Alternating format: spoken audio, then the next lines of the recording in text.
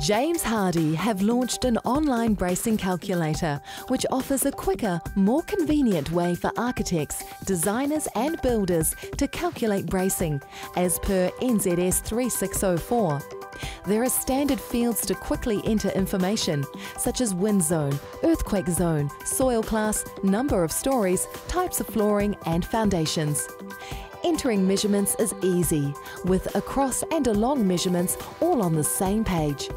There are intuitive copy and paste functions, plus the ability to enter other bracing systems. And at any stage, there's quick connection to bracing reference material for NZS 3604.